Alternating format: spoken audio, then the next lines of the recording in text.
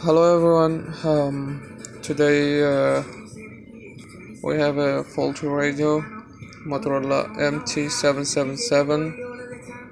Uh,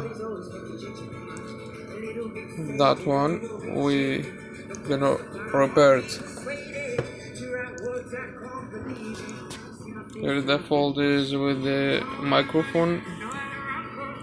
It receives well, but and also tra- transmits well, but with no audio. The mic doesn't work.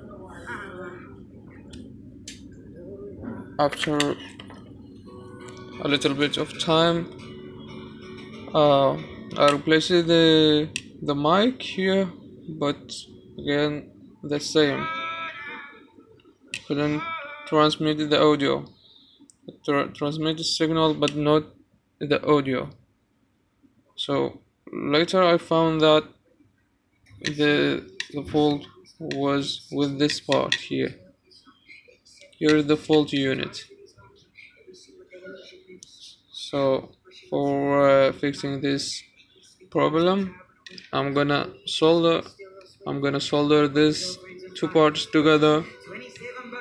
So and before I tested, and that was total success. Thank you for watching.